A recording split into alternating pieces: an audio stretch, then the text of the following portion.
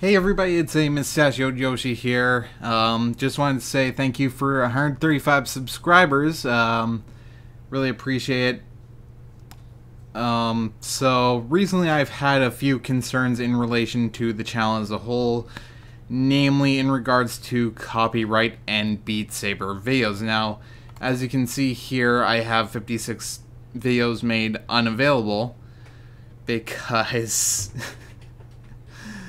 I have received a copyright strike on a particular video.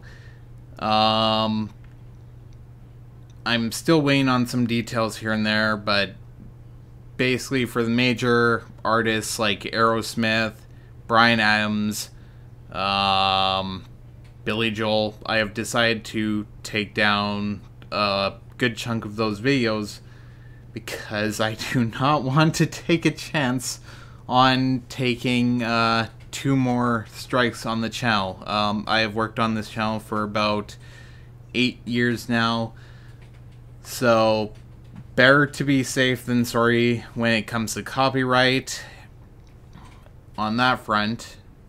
So, yeah, I've decided to take down a bunch of videos that are from big artists and bands. Um, I did not intend to infringe on other artists' copyright, uh, uh, copyright stuff when I made those videos. I just wanted to have fun playing Beat Saber. That was about it. Um, with that being said, I did leave some up that I was unsure of. So I'm gonna be looking for more info on that. I just wanted to keep y'all updated on what's happening with the Beat Saber playlist. And uh, I will have more Xenoblade Chronicles Definitive Edition episodes up in the coming days. I recorded two parts on Sunday, I believe. So I'll be working on the edits for those two videos in the meantime. I don't believe I will be taking any further chances on copyrighted songs with Beat Saber.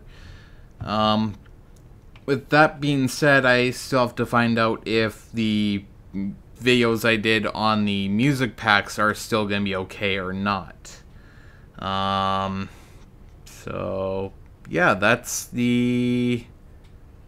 That's the situation. Um, thank you all for watching, and I'll see y'all in the next video. Peace.